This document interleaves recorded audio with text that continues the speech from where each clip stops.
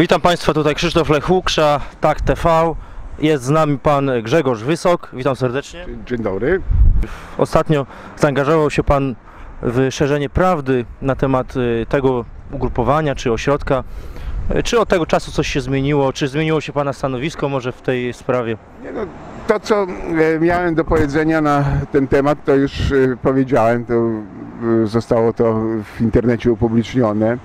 No, w tej chwili no, nic dodać nie potrafię, no, poza tym, że e, ośrodek ten działa w dalszym ciągu, e, nadal są e, prowadzone e, te programy. E, No i właśnie to, to jest okazja, żeby, żeby pokazać jak to wygląda e, ta siedziba mm, Idź pod prąd. A proszę powiedzieć, czy spotkały Pana jakieś na przykład y, nieprzyjemności z powodu tego, że miał Pan odwagę zdemaskować pewne fakty na temat y, tego ośrodka, na temat y, telewizji Idź Pod Prąd i kościoła Nowego Przymierza w Lublinie?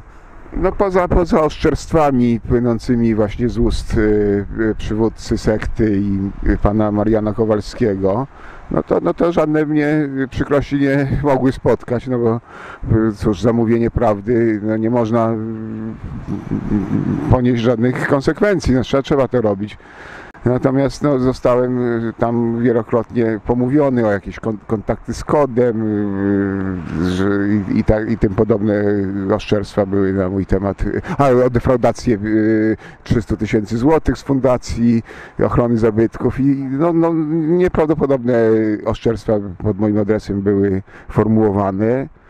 Rozważałem, czy kierować sprawę do sądu, czy nie, no ale uznałem, że y, absurd jest tak y, daleko posunięty, że nikt y, chyba w to nie jest w stanie uwierzyć. No, zwłaszcza, że oszczercy no, dość sprytnie się posługują, bo nie używają nazwiska, tylko sugerują to y, w sposób jednoznaczny, że to chodzi o mnie, natomiast no, chyba zabezpieczając się przed y, konsekwencjami prawnymi, robią to w taki sposób, żeby nie wymieniać im- z imienia i nazwiska.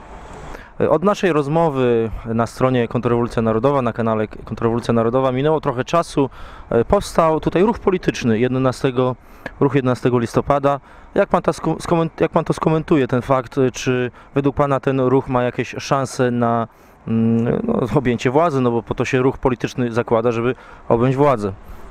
E, No, ruch 11 listopada jest y, jakby polityczną emanacją sekty i w zasadzie jego skład członkowski w pełni pokrywa się z członkami i wyznawcami sekty Kościoła Nowego Przymierza.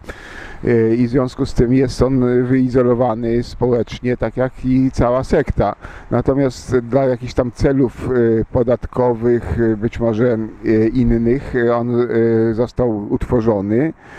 No i w tej chwili chyba jest na etapie zbierania podpisów, poparcia, bądź y, może już, już nawet y, y, to, co zrobili, ale, ale jeszcze nie jest prawnie zarejestrowany. No, jak znam tutaj realia lubelskie, ponieważ sekta robi wszystko, żeby się odcinać od społeczeństwa poprzez to, że obraża wszystkich liderów prawicy, oczernia y, wsz- wszystkich znanych publicystów.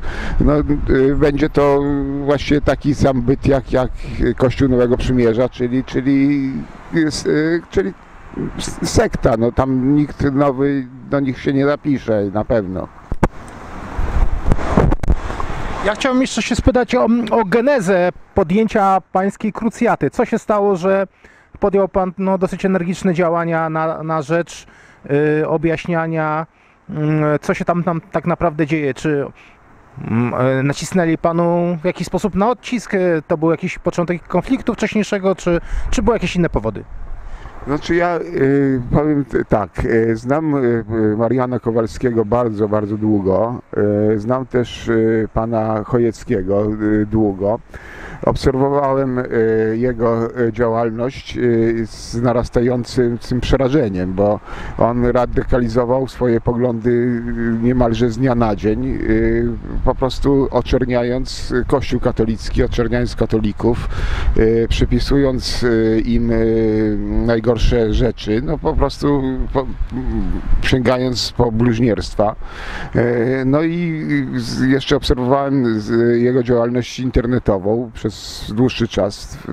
Istniały różne kanały, które e, specjalizowały się właśnie w śledzeniu tych jego najbardziej bulwersujących e, wypowiedzi i zauważyłem, że jest zapotrzebowanie na to, żeby no, dopowiedzieć pewne rzeczy, które być może nie, nie wszyscy o tej grupie e, znali. No i ja w związku z tym e, zabrałem głos, żeby, żeby po prostu tych, te, te osoby, które już były zaniepokojone tą działalnością te, tej sekty doinformować. No i jako mówię, że ich znałem, no to mogłem, mogłem trochę więcej tych, tych informacji przekazać.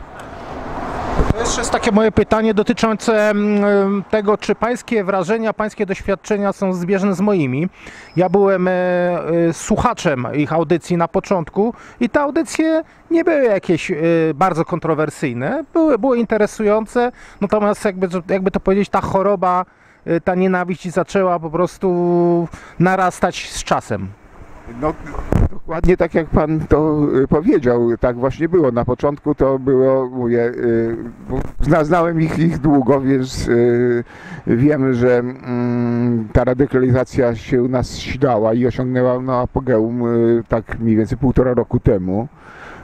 I, i od te, no i to z dnia na dzień jakby ta, radykalizacja narasta, nie? Więc y, tak, tak to mm, widzę i, i podobnie jak pan to oceniam. Ja przede wszystkim bym apelował do tych osób, które e, no, kierowani być może najlepszymi chęciami, patriotyzmem e, łożą na tą organizację środki finansowe, bo e, tak naprawdę bez e, tego oni nie mogliby się rozwijać. Mm, i to są głównie osoby właśnie przebywające na emigracji zarobkowej na Wyspach Brytyjskich.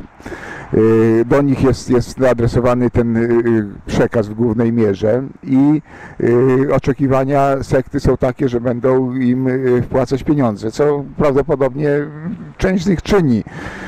No i uważam, że powinni przejrzeć na oczy i zobaczyć do czego to zmierza, czy, czy to naprawdę jest działalność służąca Polsce i przestać ich, ich wspomagać w ten sposób e, finansowo, bo, bo, bo nie ukrywajmy, jest to e, biznes rodzinny. No.